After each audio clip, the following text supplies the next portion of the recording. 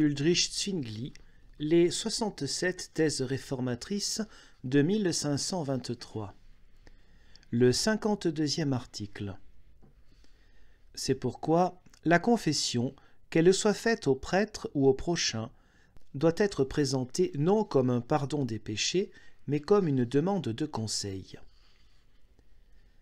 J'ai placé cet article ici parce que j'ai vu des gens cultivés prétendre que, bien que le prêtre ne pardonne pas les péchés, on devrait néanmoins aller à lui pour être rassuré. Car le fait d'aller à confesse et de recevoir l'absolution serait un signe pour que le pécheur soit assuré que les péchés lui sont pardonnés. Mais cela ne me convainc pas, car cela n'a pas de fondement dans l'Écriture. Par exemple, le baptême a bel et bien un signe, l'eau. Le corps de Christ a bel et bien un signe, le pain et le vin. Mais ces signes, c'est Christ qui les a institués.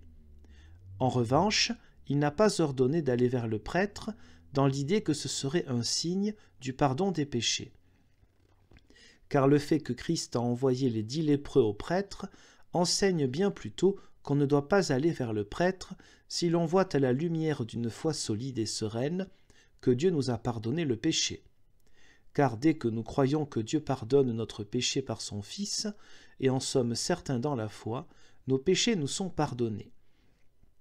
Jean 6, 40, Celui qui croit en moi a la vie éternelle.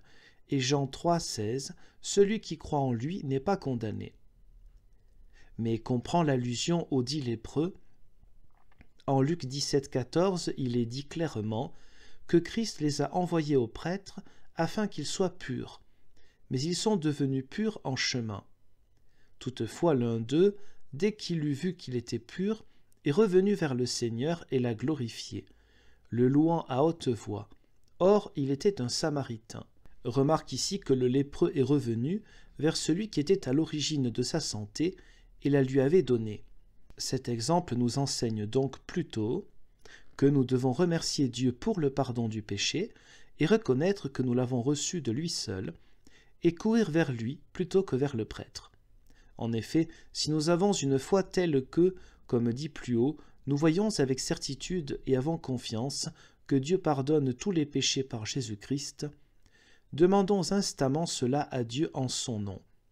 Ô Dieu, pardonne mes méfaits, à moi pauvre pécheur, non en raison de mon mérite, car il n'est qu'une dette ajoutée aux autres, mais en raison du mérite de ton Fils unique, qui a souffert la mort pour moi, afin d'être ma justification, au nom de laquelle je viens à toi, etc ou des prières semblables. Ici, l'objection suivante n'est pas non plus une aide. Christ leur a ordonné d'aller vers les prêtres, je peux donc bien imaginer qu'ils lui ont obéi. Réponse Ce n'est pas ce qu'indiquent ces paroles, mais que seul ce Samaritain est revenu en arrière après avoir constaté sa propre pureté, ou dès le moment où il l'a constaté. Car que pouvait-il avoir voulu faire auprès des prêtres?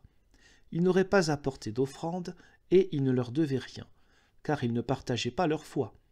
Les Samaritains avaient au contraire une aversion particulière envers les Juifs, comme le montre ce que la femme samaritaine a dit à Christ en Jean 4, 9 Les Juifs n'ont rien de commun avec les Samaritains. Il apparaît par conséquent que ce Samaritain est revenu vers le Seigneur et l'a remercié de l'avoir soigné. Oui, cette histoire nous enseigne qu'on doit attribuer à Dieu seul le pardon des péchés, et pour cette raison le remercier lui seul. Car Christ a fait l'éloge de ce Samaritain pour être venu à lui de lui-même et l'avoir remercié.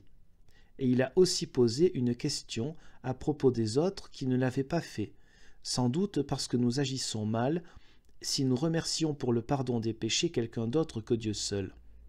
Ces allégories, c'est-à-dire une autre compréhension des idées reçues, ne peuvent bien sûr rien prouver, à moins que ce soit clairement exprimé dans l'Écriture. Mais je pense que ceux des dix lépreux, qui de nos jours sont allés à confesse chez le prêtre, l'ont fait parce qu'il y a encore beaucoup de gens simples qui seraient profondément scandalisés qu'on leur refusa d'aller vers le prêtre. Je ne réprimande pas cette manière de voir. Il serait pourtant préférable de leur avoir enseigné fermement la foi et l'espérance en Christ Jésus ils y auraient trouvé leur salut. Tu dis, chacun n'adopte pas la foi aussi vite. Réponse, ses péchés ne lui seront pas non plus pardonnés, même s'il se confessait mille fois au prêtre. Car la conclusion demeure inchangée. Dieu ne pardonne les péchés que par Christ Jésus notre Seigneur. Qui ajoute alors le prêtre? On ne va pas chez le prêtre pour autre chose que lui demander conseil. Par exemple, beaucoup de gens ont la conscience accablée à cause de leurs mauvaises actions et ne savent pas comment elles leur seront pardonnées. Ils doivent naturellement se rendre chez le prêtre pour un remède et de l'aide, comme il est dit en Malachie 2, 7. Les lèvres du prêtre gardent le savoir, et on demandera la loi à sa bouche, car il est un messager du Seigneur, etc. Mais le prêtre doit à cet égard savoir qu'il ne fait que mettre un emplâtre au pécheur pour apaiser et bannir son angoisse, c'est-à-dire qu'il lui enseigne à n'avoir de refuge qu'en Dieu par Christ Jésus. Ce dernier a pris sur lui nos maux, péchés et méfaits, et a été mis à mort sur la croix. Le pécheur devrait s'en remettre fermement à cela, et ainsi ses péchés lui seront pardonnés. Et s'y croit cela, il est libéré. Tu vois en l'occurrence ce qui est lié et délié. Si le catéchouménos, c'est-à-dire celui qui est maintenant enseigné par toi, croit en la parole de l'Évangile, il est délivré de tout péché. Tu peux le dire résolument. S'il ne croit pas en la parole, alors tu peux aussi lui dire qu'il est venu vers toi pour des prunes. Tu vois, c'est cela lié.